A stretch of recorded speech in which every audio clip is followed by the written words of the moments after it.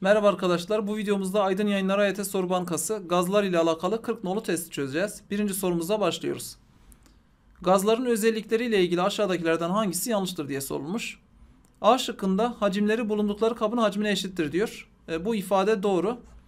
E, çünkü gazlar içinde bulundukları kabı tamamen dolduruyor. E, yani her noktasında dağılmış oluyor. Bundan dolayı kabın hacmi ne kadarsa gazın hacmi de o kadardır diyoruz. Maddenin en düzensiz halidir demiş. Katı ve sıvılara göre düzensizdir.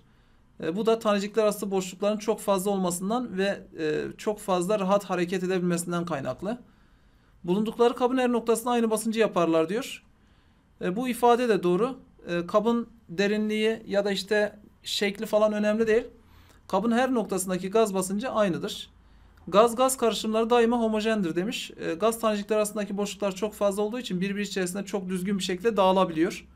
Bundan dolayı homojen yapı oluşturuyorlar. İdeal gazlarda basınç gazın cinsine bağlıdır demiş. E, buna yanlış diyeceğiz. Gerçek gazlar için gazın cinsi önemlidir ama ideal gazlarda gazın türü önemli değil. Dolayısıyla cevabımız E şıkkı olacak. İkinci soru. Açık hava basıncını ölçen alet aşağıdakilerden hangisidir diye sorulmuş. Ee, özellikle burada manometre ile barometreyi birbirine karıştırmamak gerekiyor. Manometre arkadaşlar kapalı kapların basıncını ölçmeye yarayan alete denir. Ee, barometre ise Torricelli tarafından geliştirilen açık hava basıncını ölçen aletin ismidir. Dolayısıyla cevabımız C şıkkı olacak. Ee, termometre sıcaklığı ölçen alet. Spektrometre ise ışın tayflarını yani bir başka deyişle ışın demetlerini ölçen e, alettir. Kalorimetre ise ısıyı ölçen alete verilen isimdir. Dolayısıyla cevabımız C şıkkı olacak. Üçüncü soru. Yukarıda verilen barometredeki H yüksekliği aşağıdakilerden hangisine bağlı değildir diye sorulmuş. A şıkkında havanın sıcaklığına diyor. Ee, buna bağlıdır arkadaşlar. Hava sıcaklığı değişince dış basınç değişir. Dolayısıyla civa seviyesi de değişecektir. Sıvının sıcaklığına bu da sıvının yoğunluğunu etkileyen bir faktördür. Sıvının yoğunluğu değişirse zaten e, civa seviyesi değişiyor. O yüzden B ve C şıkkını direktmen eleyebiliriz. E, borunun şekli önemli değildir. E, şekli nasıl olursa olsun uzunluğu ondan sonra arkadaşlar daldırılma miktarı daldırılış biçimi bunların hiçbiri e, seviye etkilemiyor. Dolayısıyla cevabımız D şıkkı olacak.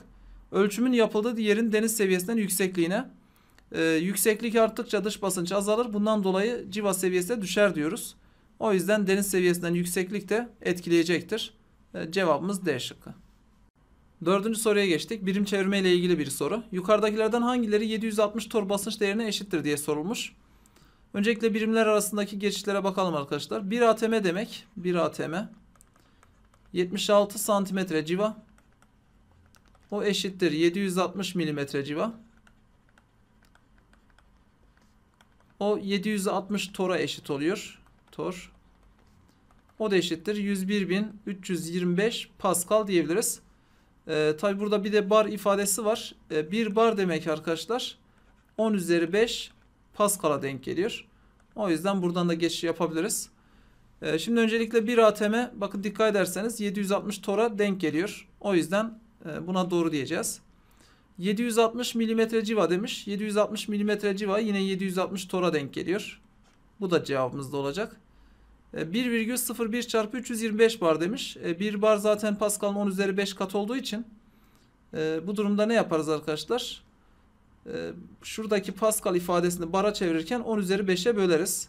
10 üzeri 5'e böldüğünüz zaman burası 1,01 çarpı 325 çıkıyor. Dolayısıyla buna da doğru diyeceğiz. Cevabımız 1, 2 ve 3 olacak. Beşinci soru. Gazlarda ideallikten sapma 3 tane özellik verilmiş. Özelliklerinden hangilerine bağlıdır diye sorulmuş. Birincisinde gazın cinsi diyor. E, gazın cinsi önemlidir. E, mesela mol kütlesi küçük olan gazların idealliği daha fazla, mol kütlesi büyük olanların daha azdır. O yüzden etkiliyor.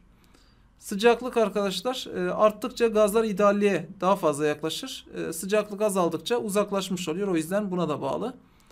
E, yine basınç arttığı zaman ideallikten uzaklaşma, basınç azaldığı zaman da idealliğe yaklaşma söz konusu. E, yani sıcaklık ve basınç da e, gazın idealliğini etkileyecektir. Cevabımız 1, 2 ve 3 olacak. E şıkkı. Altıncı soruya geçtik. Atmosfer basıncı ile ilgili aşağıdakilerden hangisi yanlıştır diye sorulmuş. Atmosferdeki gazların yaptığı basınçtan oluşur ifadesi doğru.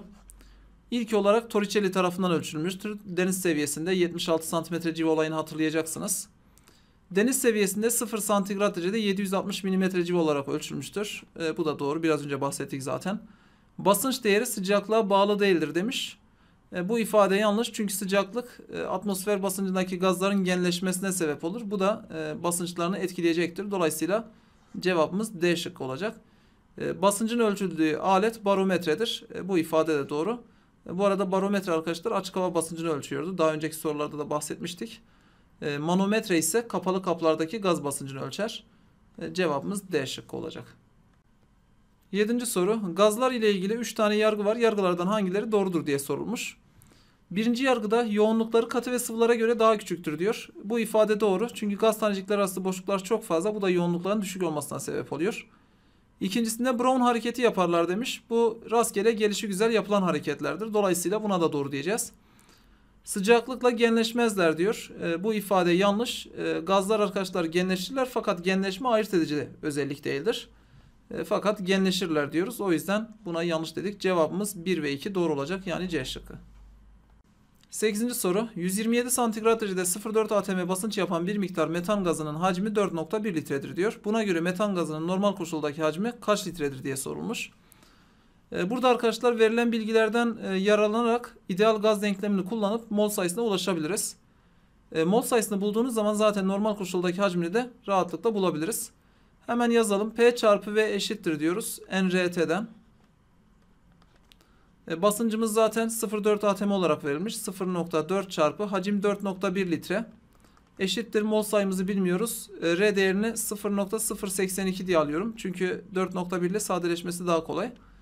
E, çarpı sıcaklık diyeceğiz. Sıcaklık da arkadaşlar 127 santigrat derece verilmiş. Onu Kelvin'e çevirirseniz 400 yapar.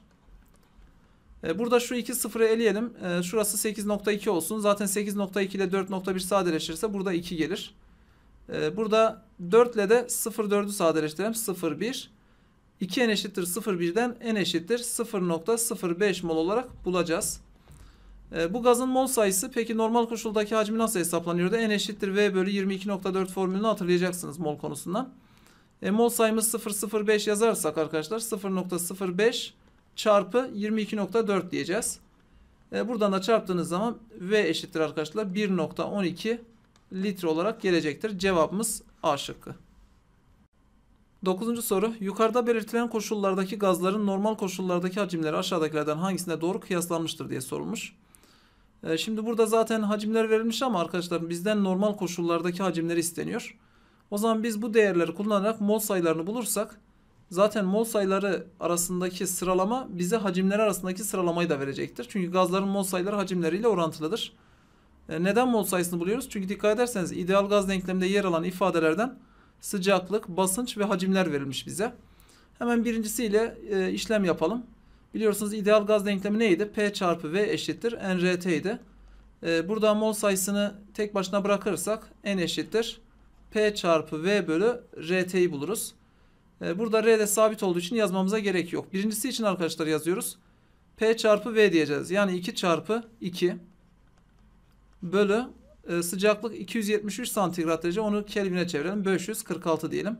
Buradan 4 bölü 546 olarak kalsın. E, kıyaslama yapacağız zaten. İkincisi için ne olur? E, 1 çarpı 4 diyeceğiz. Yani 4 bölü 0 santigrat derece 273 Kelvin'dir. O yüzden 273 diyoruz. Üçüncüsünde ise 1 çarpı 1 bölü 546 olacak. Yani 1 bölü 546 değerini bulduk. Bu durumda mol sayısı en fazla olan hangisi? İkincisi oluyor. Demek ki hacmi de en büyük olan 2 olacak. Ondan sonra e, 1 3'ten daha büyük olduğu için 2 büyüktür 1 o da büyüktür 3'tür e, şeklinde cevap verebiliriz. Cevabımız arkadaşlar 2 1 3 yani A şıkkı olacak. 10. soru. Miktarı ve sıcaklığı sabit tutulan ideal bir gaza ilişkin 3 tane grafik verilmiş. Bu grafiklerden hangileri doğrudur diye sorulmuş. E, basınç ve hacim arasındaki ilişki arkadaşlar Boyle-Moriarty yasası olarak geçiyordu. Burada dikkat ederseniz grafikte hacim artarken basıncın düştüğünü görmekteyiz. E, buna doğru diyeceğiz. Hatta bunu ideal gaz denkleminde de görebilirsiniz. P çarpı V eşittir NRT'de. Eğer bir gazın e, miktarı ve sıcaklığı sabitse P çarpı V değeri sabit bir değere eşit olacaktır. Siz hacmi arttırırsanız basıncın düşmesi ya da basıncı arttırdığınız zaman hacmin artması gerekiyor. O yüzden bu grafiğe doğru diyoruz. İkinci grafikte hacim artarken P çarpı V değerinin sabit kaldığını görüyoruz. Bakın ben hacmi arttırıyorum ama P çarpı V değeri hep aynı yeri gösteriyor. E, bunu yine ideal gaz denklemi üzerinden düşünün. N çarpı R çarpı T diyelim. E, zaten mol sayısı ve sıcaklık sabitti. P çarpı V değeri hep sabit bir R değerine eşit olacaktır. E, bundan dolayı siz hacmi arttırsanız da azaltsanız da P çarpı V değeri değişmeyecektir. Üçüncüsünde ise e, hacmin tersini vermiş arkadaşlar. Çarpmaya göre tersini. Zaten biraz önce dikkat ederseniz e, ters orantı vardı. Yani hacim artarken basınç düşüyordu. Fakat burada hacmin tersini verdiği için doğru orantı olacaktır. Bundan dolayı 1 bölü V değeri arttıkça P değeri de artar diyebiliriz. 3 e, grafikte doğru olduğundan cevabımız E şıkkı olacak. 11. soru. 27 santigrat derecede 8.2 litrelik bir kapta 0.6 atm basınç yapan ideal kükürt trioksit gazı kaç gramdır diye sorulmuş. Ee, burada gramını bulmak için öncelikle molünü bulmamız gerekiyor. Verilen değerleri arkadaşlar ideal gaz denklemini kullanarak mole ulaştırabiliriz. O zaman P çarpı V eşittir NRT diyoruz. İdeal gaz denklemi. Ee, P değerimiz 0.6 atm. Hemen yazalım. 0.6 çarpı hacim 8.2 olarak verilmiş. Eşittir diyoruz. Mol sayısı çarpı 0.082 ideal gaz e, sabiti çarpı T değerimiz kaç olacak? 300 Kelvin olacak arkadaşlar. Çünkü 27 santigrat derece artı 273 diyoruz. Burada şu iki sıfır atarsak burası 8.2 olur. 8.2'ler birbirini götürür. N değeri eşittir. 0.6 bölü 3 yani 0.2 mol olarak bulunacaktır. E, 0.2 molümüz kaç gram gelir peki? 0.2 eşittir. Kükürt trioksitin mol kütlesi e, oksijen 16 çarpı 3 48 yapar. 32 daha eklersek 80 gram geliyor. O zaman hemen 0,2 eşittir m bölü 80 diye yazarsak içler dışlar çarpımını yaptığınız zaman m değeri eşittir 16 gram olarak bulunmuş olur. Yani cevabımız A şıkkı olacak. 12. soru arkadaşlar testimizin sonuncu sorusu. Sabit hacimli bir kaptaki ideal hidrojen gazının sıcaklığı 25 santigrat dereceden 50 santigrat dereceye çıkartılırsa bu gaz ile ilgili 3 tane yargı verilmiş yargılardan hangileri yanlıştır diye sorulmuş. Birinci yargıda gaz basıncı iki katına çıkar diyor. Ee, burada bu ifadeye yanlış diyeceğiz. Çünkü gaz basıncının iki katına çıkması için sıcaklığın e, Kelvin cinsinden iki katına çıkması gerekiyor. Burada dikkat ederseniz 25 santigrat dereceden 50 santigrat derece demiş. Bunu Kelvin'e çevirirsek 298 Kelvin yapar. E, 50 santigrat dereceyi çevirirsek 323 Kelvin yapıyor. Dolayısıyla sıcaklık iki katına çıkmış olmuyor arkadaşlar. O yüzden bu yanlış. Basınç çarpı hacim değeri büyür demiş. Onu hemen ideal gaz denkleminde görelim. P çarpı V eşittir NRT'den. E, gazın mol sayısı değişmiyor sabit. R değerimiz de zaten sabit. Eğer sıcaklık artıyorsa ki 25 dereceden 50 dereceye bir artış var. Bundan dolayı P çarpı V değerinde de artış olacaktır. O yüzden buna doğru diyoruz. Üçüncü ifadede taneciklerin ortalama kinetik enerjileri iki katına çıkar demiş. Ortalama kinetik enerji mutlak e, sıcaklıkla doğru orantılıdır. Yani Kelvin türünden bakmamız gerekiyor. E, Kelvin türünden baktığımız zaman e, sıcaklık iki katına çıkmadığı için ortalama kinetik enerji de iki katına çıkmayacaktır.